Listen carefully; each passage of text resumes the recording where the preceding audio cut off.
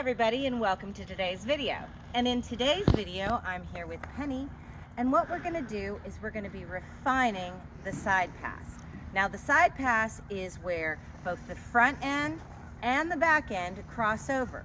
And you're actually going to be using button number two.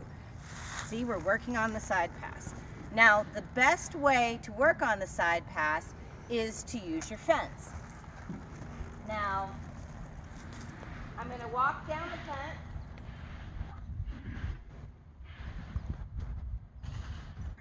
I'm going to turn into the fence. And what I'm going to do is basically a turn on the forehand all the way to a perpendicular and then I'm going to ask for the side pass. So I'm going to turn her nose into the fence when her nose is into the fence.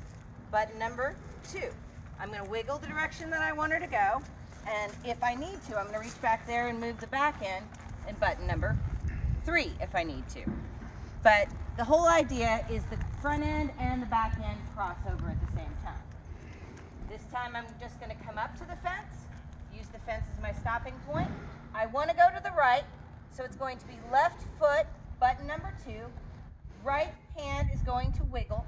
Left hand is going to hold the horse's head straight. There you go. Very nice. See? Press and release, press and release, press and release, press and release, and turn out.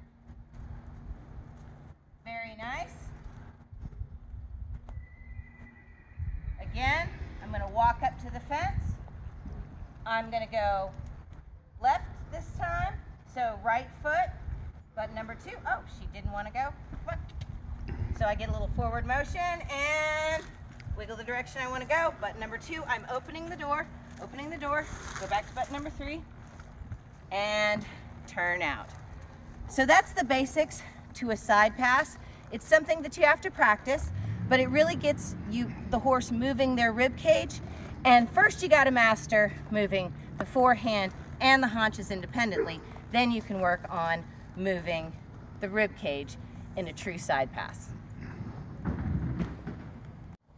Thank you so much for joining us on today's video. And if you like the video, give us a like. And if you haven't already, please subscribe. We're going to put out new content all the time. And check out our playlist if you want to see more.